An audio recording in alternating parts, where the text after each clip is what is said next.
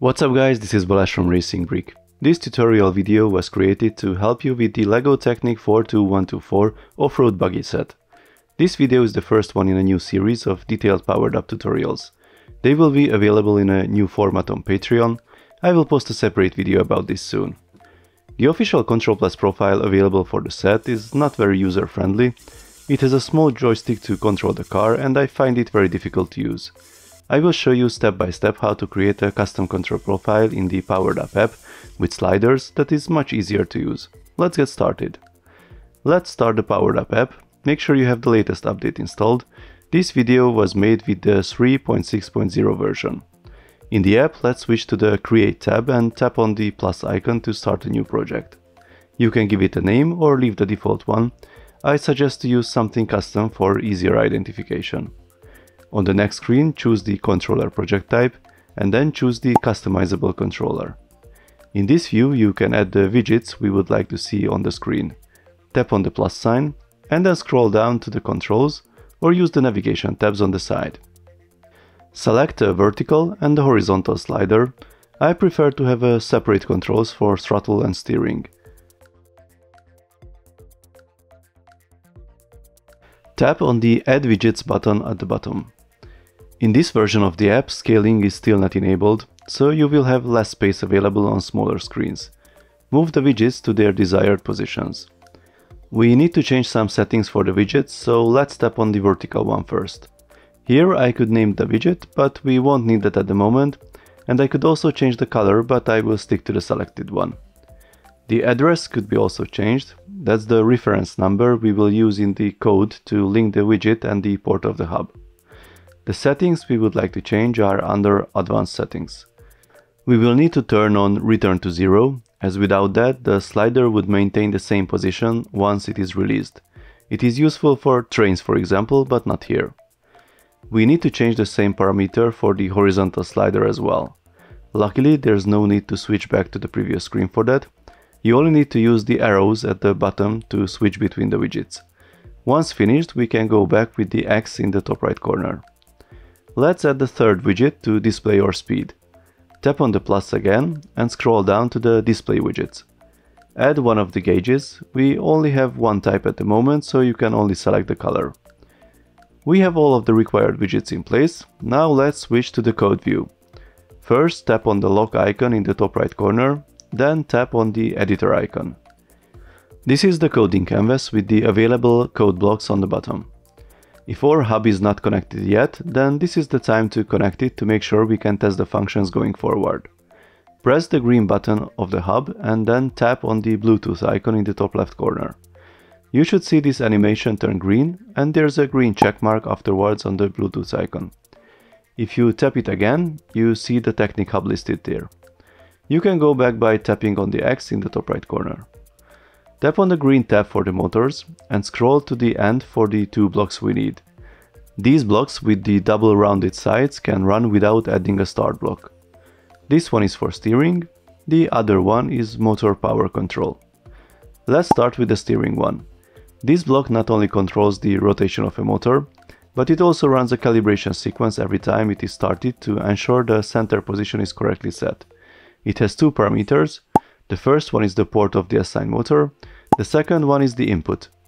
We could simply set the port to B as the steering motor is attached to that port of the hub, but let's use the device address and port selector block to be more precise.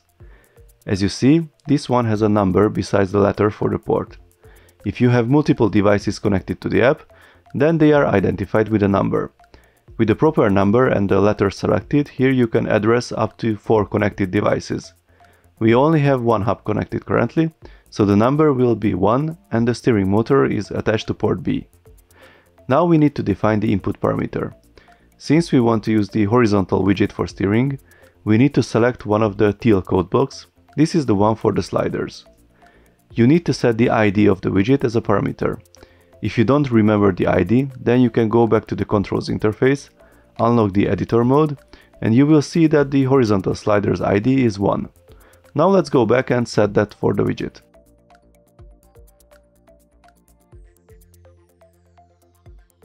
So we are done with the steering. Let's set up the throttle control. That motor is attached to port A, so we add a similar device and port selector block like previously. The input block will be again the teal slider one, the ID for the vertical slider was 0. Now let's test if these two work properly. Tap on the game controller icon in the top right corner, that will show us the controls and start the project. As you can see the initial servo calibration happens when it is launched. Steering seems to be set up correctly, but apparently throttle control is reversed. We need to reverse it somehow. Although it would be somewhat logical, but you cannot simply turn around the slider for this. We need to change the code to turn the values around. The numerical output of the slider is a number between 100 and minus 100. To reverse it, we need to multiply the value of the slider output block by minus 1. This will turn 100 to minus 100 and minus 100 to 100.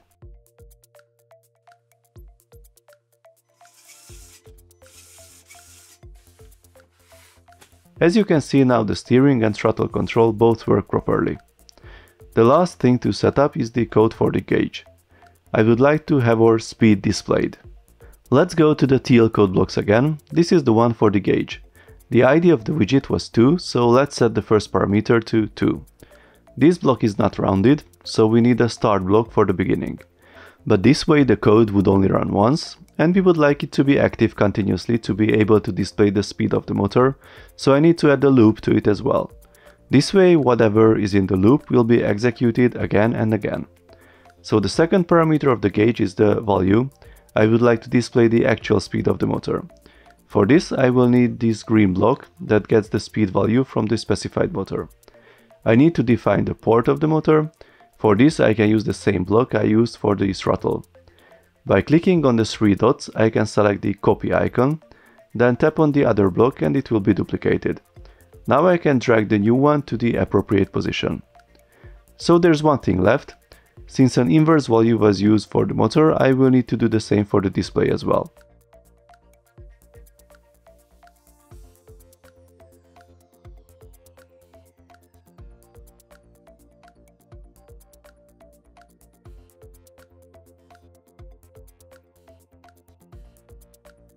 And we are done. So let's test our control interface. Steering and throttle control works much better than the official Control Plus joystick. Additionally, we have a speed display, which is the actual rotation speed of the motor and not the power applied, which means if the car is blocked, then the displayed value will be zero. That was all I wanted to show you today. Stay tuned for the next powered up tutorial. You can find the link to the tutorial page in the description, make sure to check it. See you next time, bye bye.